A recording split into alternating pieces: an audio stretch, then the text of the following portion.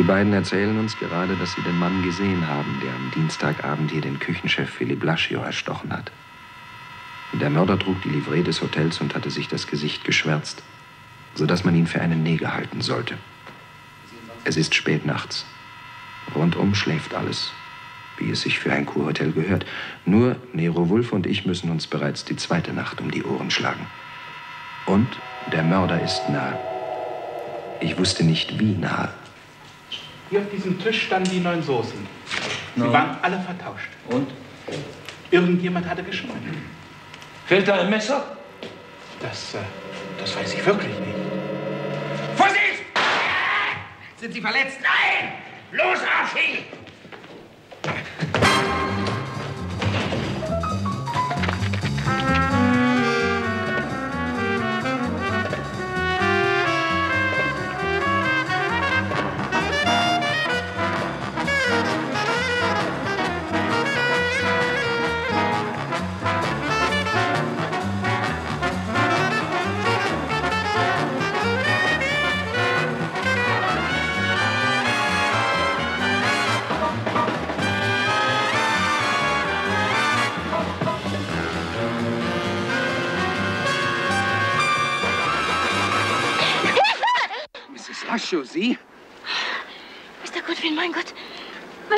Angst. Ich dachte schon, jetzt komme ich an die Reihe. Was tun Sie denn um diese Zeit hier im Park? Ich. Ich konnte nicht mehr auf meinem Zimmer bleiben. Überall stehen die Habseligkeiten meines toten Mannes. Ich. Ich konnte einfach nicht. Ich hatte das Gefühl, ich. Ich, ich muss ersticken. Ich. Ich laufe schon, ich weiß nicht wie lange hier im Park herum und es will und will nicht morgen werden. Haben Sie jemanden gesehen eben? Ja, deswegen habe ich mich ja versteckt. Jemand kam gelaufen von da drüben. Wo ist er hin? Dein Haus vom Hotel weg. Kommen Sie weg da. Haben Sie ihn erkannt? Nein. Wieso? Kenne ich ihn denn? Nein, ich meine, ob Sie gesehen haben, wie er aussieht. Ja, der. Der war mittelgroß und äh, nicht mehr ganz jung. Aber ich weiß nicht genau, das ging alles so schnell. Verdammt, er ist mir durch die Lappen. Was war denn das für ein Schuss? Ist was passiert? Ja, unser Freund der Mörder ballert ein bisschen in der Gegend herum hier. Um Gottes Willen. Und ich laufe hier im Park herum? Ja, eben. Sie sollten lieber auf Ihr Zimmer gehen, das ist zu gefährlich für Sie. Ja. Kommen Sie.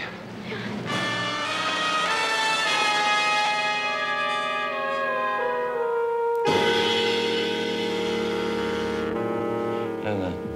Nein, nein, lassen Sie ihn. Mr. Goodwin wird das schon untersuchen. Ich hole einen Arzt, ich telefoniere. Eine Meile von hier ist ein Arzt. Ich, ich hole ihn. Ja, ja, lauf, lauf, lauf. Haben Sie Schmerzen, Mr. Wolf? Nein, es brennt bloß ein bisschen. Archie, haben Sie ihn? Nein, war schon weg. Was ist denn passiert? Weiß nicht. äh, Na, tun Sie doch mal die Hand weg. Ich kann doch so nichts sehen.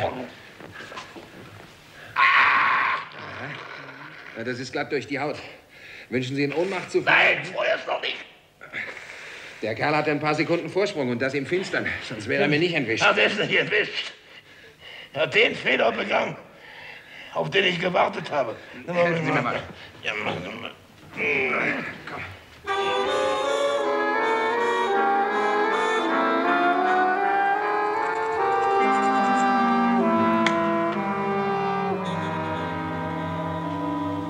müssen sich jetzt hinlegen, Mr. Wolf. Doktor, ich habe keine Zeit. Sie müssen sich jetzt hinlegen, wenn ich das sage. Verdammt nochmal. So, Boss. Mrs. Leischer war so freundlich, gleich mitzukommen. Ausgezeichnet, Mrs. Laschio. Ausgezeichnet, dass Sie kommen. Ich wäre versucht, Ihnen einen guten Morgen zu wünschen, aber dieser Morgen ist alles andere als gut. Sie sollen nicht so viel sprechen, Mr. Das Wolf. ist wichtig, Doktor. So, das gibt einen kleinen Einstich jetzt, ja?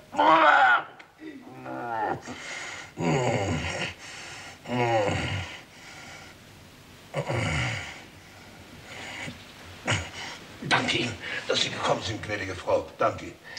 Nach dem Gespräch von gestern und der Art, wie Sie mich behandelt haben, hätte ich nicht gedacht, dass Sie noch Wert auf meine Aussagen legen. Hat sich ergeben, dass ich sehr auf Ihre Beobachtung angewiesen bin.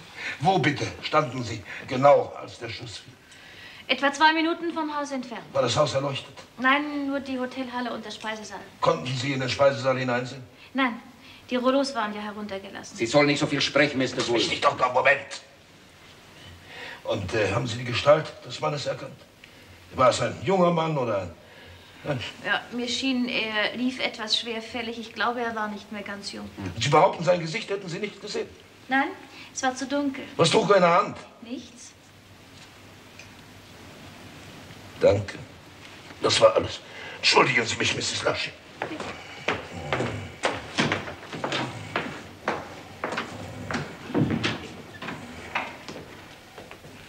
So, das tut jetzt etwas weh, aber es dauert nicht lange. Herr Post, ich konnte nicht sehen. Es war wirklich zu dunkel. Ich war ja selbst draußen. Woher wusste sie dann? Woher wusste sie dann, dass er nichts in der Hand trug?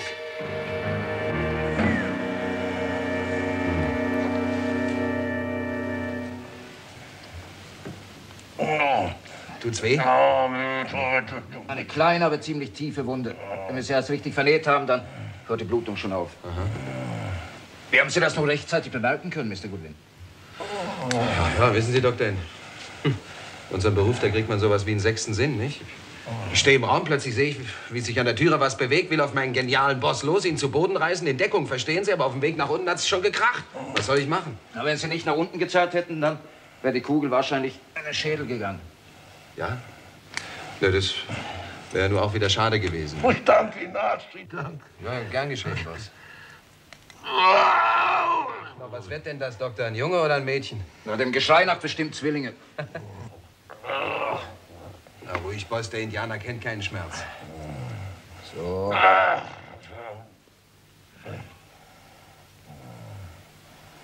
So, fertig. So, Schwester, den Verband bitte, ja? So, und Sie bleiben schön liegen und sprechen den ganzen Tag nicht, nein? Ganzen Tag nicht sprechen, na, Doktor, das ist aber für ihn schlimmer als die Schmerzen. Naja, dann würde ich gleich mal in der Telefonzentrale anrufen und sagen, dass die keine Gespräche mehr hierher legen. Haltet, nein, nicht nicht noch. Dürfen uns doch von der Außenwelt nicht abschließen, Arzt. Sie. Sie sollen Ruhe geben, Mr. Wool. Tut mir leid, Doktor. Wir müssen jetzt handeln.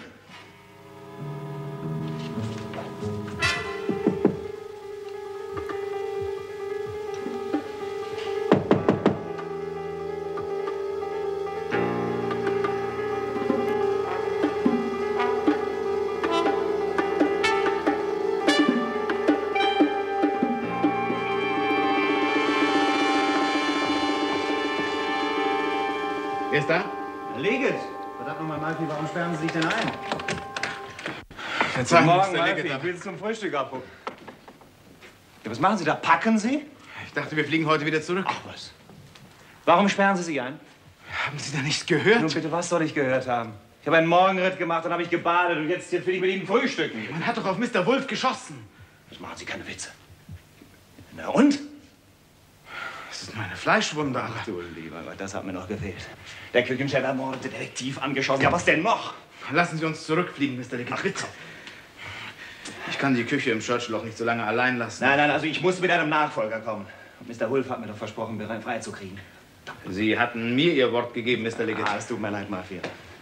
Wenn ich einen Mann von internationalem Ruf als Küchenchef kriegen kann und Berein hat nun einmal diesen Ruf, ja, dann muss ich doch engagieren. Und wenn ich Ihnen tausendmal versprochen habe, dass Sie den Posten kriegen, Ich hatte mich auf Ihr Wort verlassen, Mr. dann Liggett. kommen Sie, gehen Sie mal erst mit mir frühstücken, ja? Sie hatten es mir doch versprochen, Mr. Liggett. Wer glauben Sie hat auf mich geschossen? Das ist aber eine seltsame Frage. Der, der Mörder natürlich, wer sonst? Den Mörder haben Sie doch verhaftet. Mr. Berin sitzt doch im Gefängnis. Vielleicht sein Kompliz? Na ja, so offen gestanden glaube ich ja auch nicht mehr an Berans Schuld. Ich bin in der Lage, seine Unschuld zu beweisen. Ach, Ach, Sie bitte. Ja, wie denn? wir haben heute Nacht Zeugen vernommen.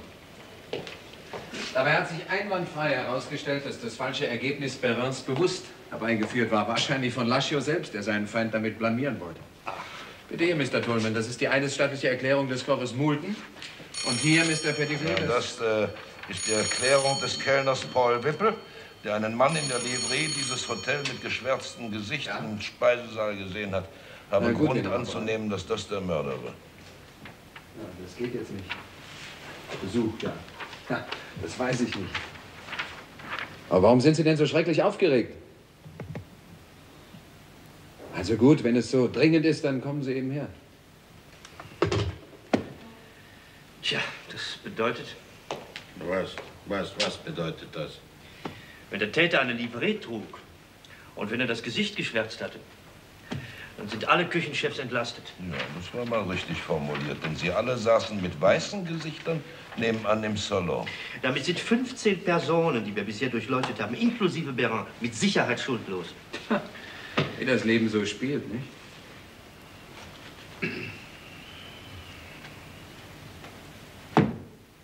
Nein! Einer war nicht dabei. Wer denn? Na, dieser, äh, dieser, dieser alte Küchenchef, dieser alte da, der... Nein, Jugend ist ja kein Hauptmerkmal der Teilnehmer. Oh Gott, der, der Alte mit dem weißen Schnurrbart und der Brille, äh, der, der den Soßentest nicht mitgemacht hat und äh, rausgesaust ist. Der, Ah, wie heißt Leo der? Blanc. Ja, den meine ich ja, Ja, wohl. natürlich, Leon Blanc. Er hat sich geweigert, etwas zu essen, was Latscho zubereitet hat. Ja, das stimmt. Den hat Lascho doch um seine Stellung gebracht, früher mal. Ein Motiv. Und sein Alibi? Hat keins. Er behauptet, er war auf sein Zimmer, aber keiner kann es bezeugen. Also. Was sagen Sie, Mr. Wolf? Sehr interessant. Nur woher nahm er die Livree? Und wie kam er geschwärzt und verkleidet ungesehen nach unten, wenn er vorher auf seinem Zimmer war? Ja, das ist natürlich richtig. Ja, muss man doch rausfinden können, nicht? Das schön, weil er da ist, ja lächerlich. Muss man doch rausfinden können. Ah, Miss Perrin, bitte. Danke. Bitte kommen Sie. Übrigens, Ihr Freund Tolman ist da. Warum haben Sie mir das nicht am Telefon gesagt? Das haben Sie mich ja ich nicht wäre gefragt. niemals hierher gekommen, solange der Mann da ist, der meinen Vater wegen Mordverdacht einzusperren war. Constanza, ich bitte Sie. Mr. Wolf, wissen Sie, was ich erst jetzt erfahren habe? Dass Sie diesen Polizeischnüffler auf die Idee mit dem falschen Testzettel gebracht haben. Sie sind also schuld daran, dass Papa verhaftet wurde. Sie wollten sich an ihm rächen, weil er Ihnen das Rezept nicht geben wollte für lumpiges Geld. Ich, ich finde das empörend. Das ist eine... Lassen Sie mal Dampf ab, schönes Kind, und reden hier mit Erwachsenen nicht so wie mit den Zuckerbubis, die sonst hinter Ihnen herbuseln, Was ja? erlauben Sie sich? Das ist doch... Ganz ruhig, sonst sage ich Ihnen nicht, dass Mr. Wolf bei Mr. Tolman gerade die Freilassung Ihres Vaters durchgesetzt hat. Hier, Prost. So, was nun?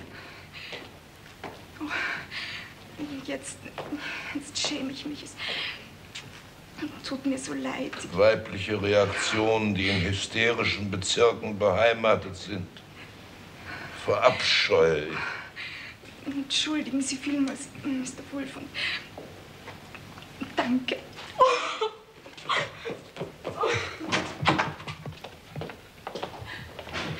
Ja, es war ja auch ein bisschen viel für Sie.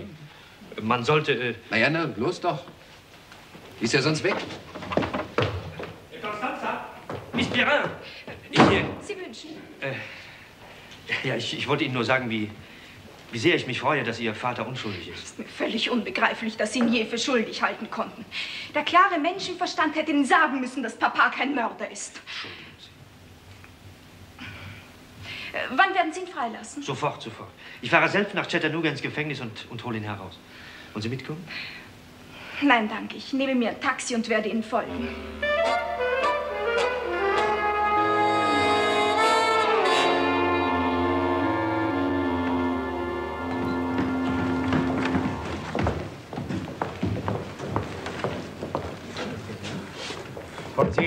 Entschuldigen Sie, bitte. Mr. Malfi. Meine Rechnung, bitte. Sie reisen ab? Ja. Ja, ich weiß nur nicht. Was soll das heißen? Hat da vielleicht jemand was dagegen? Ja, Mr. Malfi, ich bedauere sehr. Die Polizei hat etwas dagegen. Ach, Sie sollen mich in Ruhe lassen. Sie haben doch Berin eingesperrt. Ah, ah, ah. Berin ist aus der Haft entlassen. Ach, Mhm. der ist unschuldig. Ja, denken Sie mal an. Sagen Sie, ich habe mit der ganzen Sache nichts zu tun. Ich war überhaupt nicht hier, als der Mord geschah. Ich war zu Hause in New York. Ich bedauere, im polizeilichen Auftrag muss ich Sie bitten zu bleiben. Und äh, wie lange noch? Bis der Kongress zu Ende ist. Also bis morgen? Ja, dann ergehen weitere Anordnungen, Mr. Malfi. Ja. Mr. Wolf, ich bin wirklich sehr glücklich, dass Sie bereits Unschuld nachweisen konnten. Ich möchte Ihnen dafür danken. Nehmen Sie Milch und Zucker? Dankeschön, ganz schwarz. Glauben Sie mir, es ist einfach furchtbar, als Außenstehender in so eine Atmosphäre von Misstrauen hineinzugeraten. Sie machen sich ja gar keinen Begriff von der Stimmung auf dem Kongress. Sämtliche Gespräche der Meister und ihrer Angehörigen sind nur noch verkrampft und unaufrichtig. Keiner traut mehr dem anderen. Es ist einfach lähmend. Na, man muss das verstehen, die Leute haben Angst, ne? Ja, natürlich. Ich wäre ja auch längst schon abgereist. Wenn ich eben nicht bleiben müsste. Sie wissen ja warum. Ja, ich weiß es. Suchen Sie etwas? Naja, ich hätte ganz gern ein bisschen Wasser. Bisschen ah, Wasser. Ja, da drüben. Oh, danke schön. Ja. Ich bitte Sie nochmals, Mr. Wolf. Schlagen Sie mir diese Bitte nicht ab. Verstehen Sie einen Moment lang meine Situation. Sehen Sie, ich bin relativ jung, geschäftsführender Direktor eines der berühmtesten Hotels der Erde geworden. Unsere Küche ist weltberühmt. Da bringt man den Künstler um, dem wir sie verdanken. Wenn Sie mir die Vorzüge einer exquisiten Küche schildern wollen, dann rennen Sie offene Türen. Na eben, Mr. Wolf, deshalb appelliere ich ja auch an Sie. Sehen Sie, Mr. Wolf, ich bin sofort hierher geflogen, als ich von diesem Mord hörte, weil ich mir sagte, hier ist, hier ist eine einmalige Gelegenheit. 15 Großmeister der Küche, mein, da, da, muss es mir doch einfach gelingen, einen zu engagieren. Haben Sie Ihr Glück versucht? Natürlich, überall. Aber es ist tatsächlich nur ein Meister frei. Wirre. Ist Ihr Pech, dass er Ihr Hotel nicht mag. Moment mal, er mochte Laschio nicht. Das war der eigentliche Grund. Gut, ich kann ja verstehen. Laschio war schwierig. Er hat wohl auch hier und da ein Rezept eines anderen nachgeahmt, nicht? Ja, muss immer ein bisschen dezent ausgedrückt. Ja, glauben Sie mir, da wird auch viel übertrieben von diesen Primadonnen des Kochtops. Ja, das Laschio war schwierig, er hatte auch viele Feinde, aber er war ein prächtiger Koch und ein unermüdlicher, ehrgeiziger Arbeiter. Ich habe ihn gekannt. Schließlich haben wir fünf Jahre zusammen gearbeitet. Also mir hat er furchtbar leid getan. Ihr Es war ein, ein richtiger Schlag für mich, auch menschlich, dass er tot ist. Jetzt Sie wirklich? Ja, ja, und das ist Berein, meine ganze Hoffnung. Nicht? Nun reden Sie mit ihm. Mr. Wolf, ich muss ihn haben. Ich bin meinen Aktionären gegenüber verpflichtet. Verstehen Sie denn das nicht? Tut mir leid, ich kann nichts dazu tun. Ah. Mr. Wolf, Berin verdankt Ihnen seine Freilassung. Er ist sentimental. Nur sagen Sie ihm, er wird mein oberster Küchenchef mit uneingeschränkten Vollmachten. Niemand hat ihm etwas reinzureden. Und 20.000 Dollar Vermittlerprovision für Sie, Mr. Wolf. Sagen Sie, hatten Sie nicht Mr. Malfi diesen Posten versprochen? Natürlich, aber ich habe es mir anders überlegt. Malfi ist ein wunderbarer Koch für Vorspeisen, aber doch nicht mehr. Er ist sehr ehrgeizig, er will Karriere machen. Sie hatten ihm doch den Posten versprochen. Was heißt denn das versprochen? Und was verdient er denn zurzeit?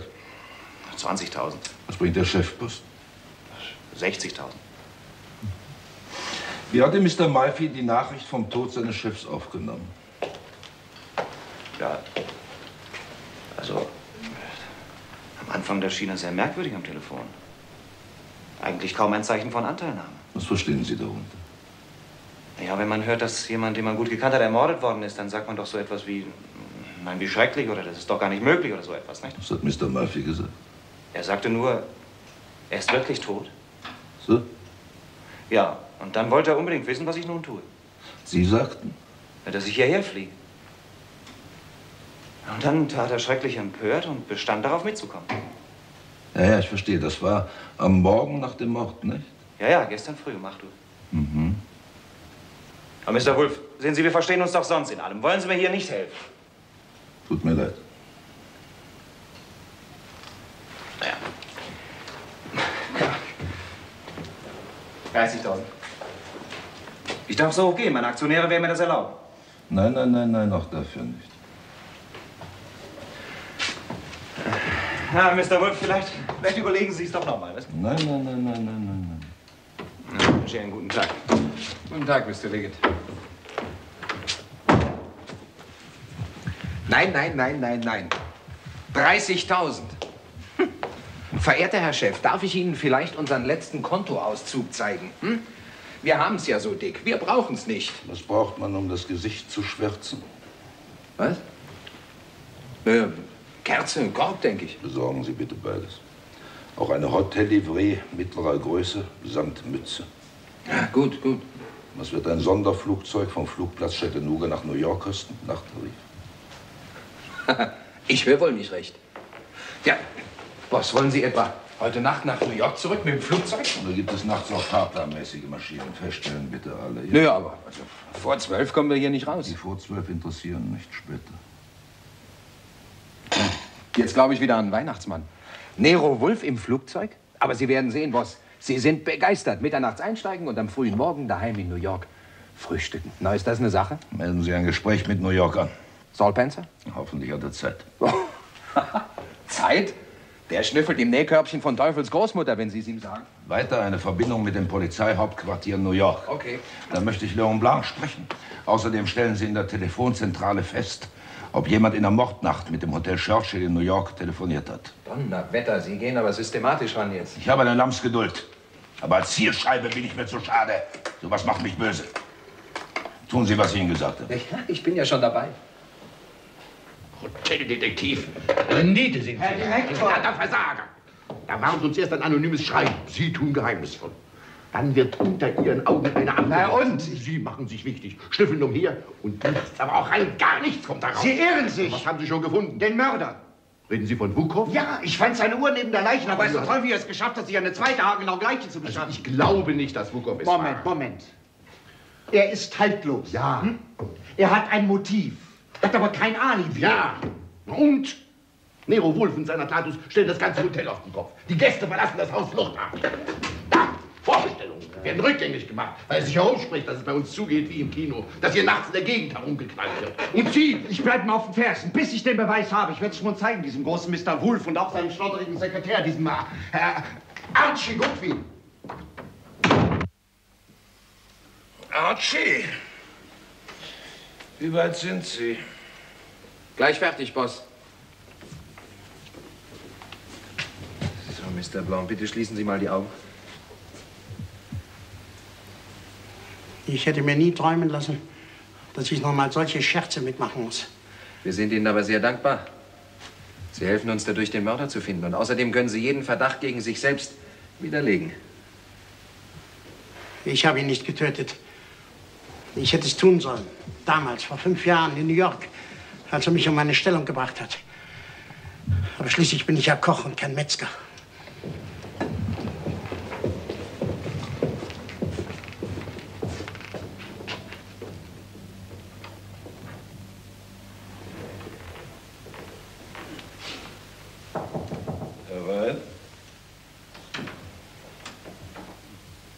Meine Herren, ich danke Ihnen, dass Sie gekommen sind. Ich habe einen kleinen Versuch mit Ihnen vor. Archie, Bin gleich soweit. So, Mr. Blanc, ich denke, das genügt. So, jetzt die Livree bitte. Ja. Perücke. Kommt schon.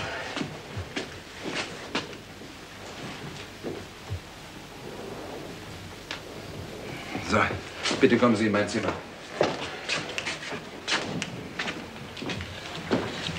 Kleinen Augenblick.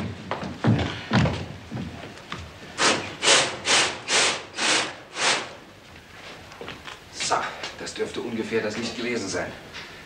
Äh, Bitte stellen Sie sich hierher und machen Sie so. Das ist alles, was Sie zu tun haben. Das ist doch lächerlich. Wie sehe ich denn aus? Spielt ihr Karneval mit mir? Vielleicht, aber nicht ganz so lustig, Mr. Blau. Na, und wenn nun einer kommt und sagt, er, er erkennt mich wieder, dann bin ich belastet und kann mich nicht wehren. Ich, ich habe doch kein Alibi und bin auf das Zeugnis von irgendwelchen fremden Menschen angewiesen. Nein, nein, ich, ich mache nicht mehr mit. Sie müssen, Mr. Blau. Sie wissen doch genau, welcher Verdacht auf Ihnen ruht. Also bitte tun Sie, was ich Ihnen gesagt habe. Stellen Sie sich hier mit dem Gesicht zur Badezimmertür und machen Sie so. Na also. Fertig, Mr. Wolf. Ja, meine Herren. Sie blicken also durch die Badezimmertür nur einen Moment in den anschließenden Raum. Nun? Nein, der hat ganz andere Ohren. Der ist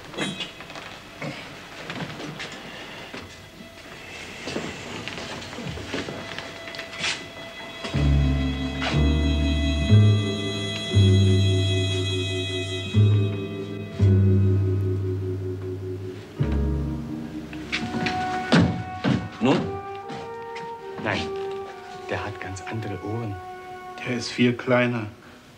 Danke Ihnen, meine Herren. Das war alles. Da sehen Sie, Mr. Blanc, alles in Ordnung. Die Gerechtigkeit siegt immer. Wir haben jetzt nur noch einen weiteren Zeugen. Ja. Kommen Sie. Sie kommen. Sie kommen. Leo.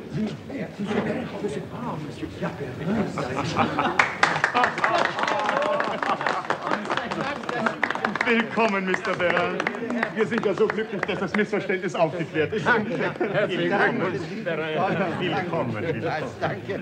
Ich bin wirklich, Monsieur Wolf, so dankbar. Ich habe immer an Ihre Unschuld geglaubt, Mr. Beran. Gratuliere, Mr. Beran.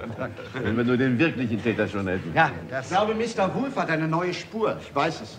Eine sensationelle Wendung ist zu erwarten. Jemand, der bisher völlig unverdächtig war. Archie, Ja? Bitte öffnen Sie die Tür. Mrs. Coyne, ich möchte gern wissen, ob Sie den Mann dort drin wiedererkennen. Und Sie die Freundlichkeit haben, mal durchzusehen.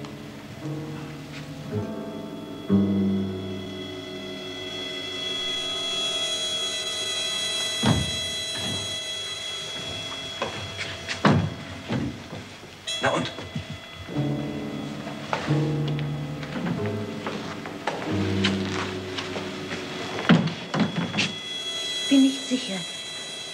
Ausgesehen. Was sagen Sie? Die Statur, die Haltung, genau so sah er aus. Lassen Sie sich nicht durch die Livree täuschen, durch das geschwärzte Gesicht, bitte. Vielleicht. Bin nicht sicher. Haben Sie erkannt, wer der Mann war? Kenne ich ihn denn? Ich frage Sie. Nein. Ich. Nein. Ich danke Ihnen. Sprechen Sie zu niemandem darüber. Ich brauche Ihnen nicht zu erläutern, in welcher Gefahr Sie sind. Ich danke Ihnen.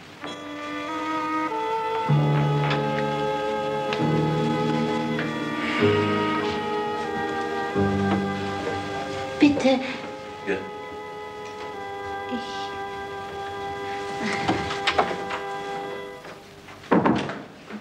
Schlägt doch 13. Glauben Sie das etwa Boss? Ich nicht. Mr. Blanc soll sich abwaschen. Ah ja. Mr. Blanc, Sie können sich abwaschen. Ich komme gleich und helfe Ihnen. Ja. Boss, ich schwöre Ihnen, ich fress meinen Hut, wenn sich dieses Malaien-Girl nicht getäuscht hat. Man soll keine Schwüre leisten, an denen man sich möglicherweise den Magen verdirbt.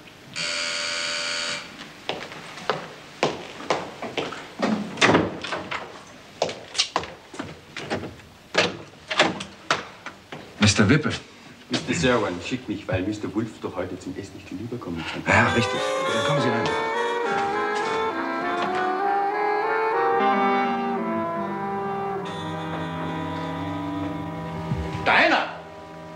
Kommst zu mir?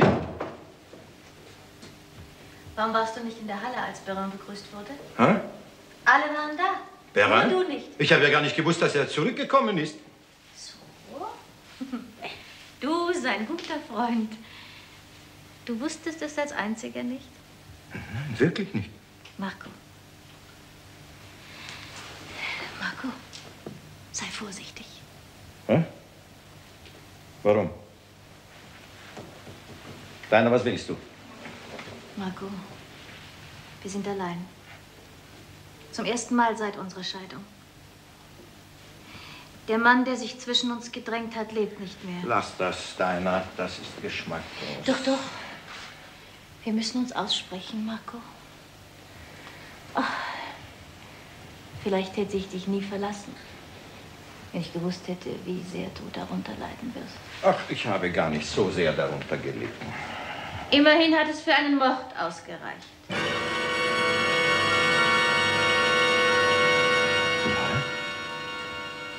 Bist du verrückt? Ja, aber Marco, du brauchst dich doch nicht zu verstellen. Ich weiß es, du warst es. Ich habe es vom ersten Augenblick an gewusst.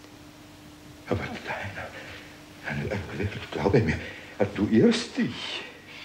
Ich erwarte ja nicht, dass du es zugibst, obwohl du es ruhig tun könntest. Wir sind allein. Und ohne Zeugen. Aber hör zu. Ich werde dich nie verraten. Niemals. Denn schließlich hast du es ja für mich getan. Nicht?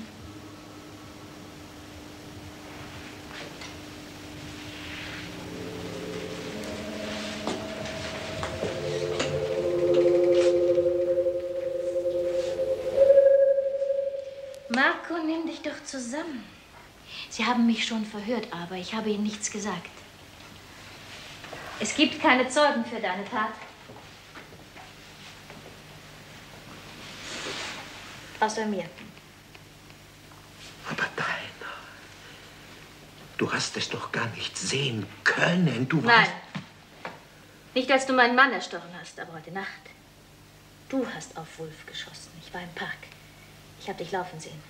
Du warst es. Ich habe dich erkannt. Deiner. Wo hast du sie versteckt? Was? Die Pistole. Hast du sie weggeworfen? Oder ist sie hinter dem Zimmer?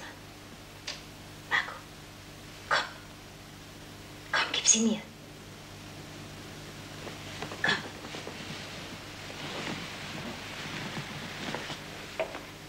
Ich habe ein Alibi, bei mir sucht sie niemand. Ich werde sie schon beiseite schaffen. Och, Marco. Ich will doch nicht, dass dir etwas geschieht. Was soll mir denn geschehen? Dein? Du bist so. so verändert. So habe ich dich nicht gesehen seit dem ersten Jahr unserer Ehe. Ah. Ich war so glücklich mit dir. Ich kann und kann diese Zeit nicht vergessen. Ich auch nicht, Marco. Oh, du, ich bin so schrecklich allein. Du bist der einzige Mensch, bei dem ich fühle, dass es gut mit mir meint.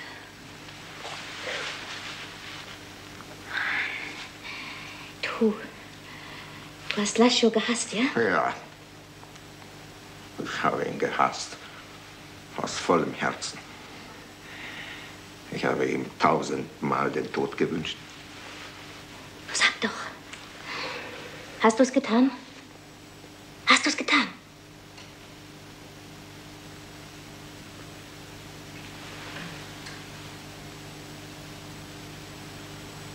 Du hast es getan. Du hast es getan für mich.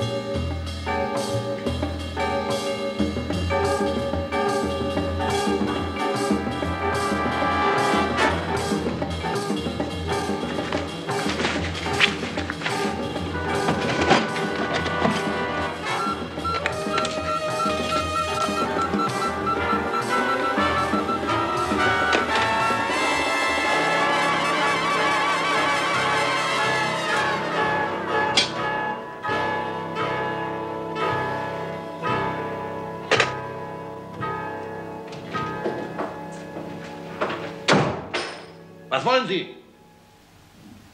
Ich möchte mich ein wenig mit Ihnen unterhalten, Mr. Booker. Wie wäre es, wenn Sie mir einmal erzählen, woher Sie die zweite Uhr haben? Und wo diese Pistole herkommt? Wann? Und äh, wann ist die Maschine in New York? Danke. Piroschki. Erraten, Mr. Wolf. Von Mr. Wukow zubereitet. Der, das da, das ist der Artichaut Barigouet. Mr. Malvin nennt sie Artichaut Tregan. Aber es ist fast dasselbe Rezept. Bitte schön. Nein, danke, danke. Aber Mr. Servant uns sagte- selbst. Nein, nein, lassen Sie. Ich habe noch eine Unterredung. Wie Sie wünschen. Guten Appetit. Ja, danke schön. So, alles erledigt, Boss. Die Flugverbindung heute Nacht ist okay. Es geht eine fahrplanmäßige Maschine von Chattanooga um 0.30 Uhr weg. Die ist um 7.20 Uhr in New York. Das Telefon? Telefon, ja. Also, es tut mir leid, aber in der Mordnacht hat niemand von hier aus das Hotel Churchill in New York angerufen. So, na, dann wollen wir mal essen. Halt das! Was ist denn los? Haben Sie keinen Hunger? Doch, ich habe Hunger wie ein Wolf. Na also. Aber wie zum Teufel soll ich wissen, wer gerade in der Küche war? Möchte auf jeden Fall heute Nacht heil nach New York zurück. Was? Glauben Sie?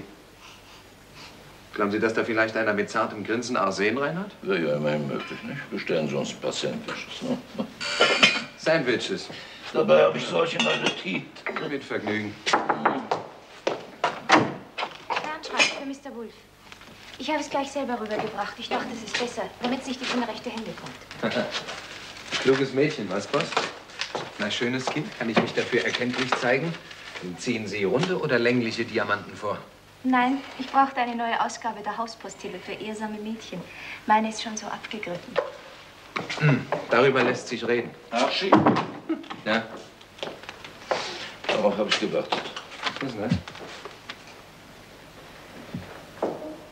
Mordmeldung in keiner Zeitung. Stopp, mache weiter. Stopp, telefoniere aus Chattanooga, Saul Pence. Was bedeutet das? Bedeutet, ja? Mr. Wolf?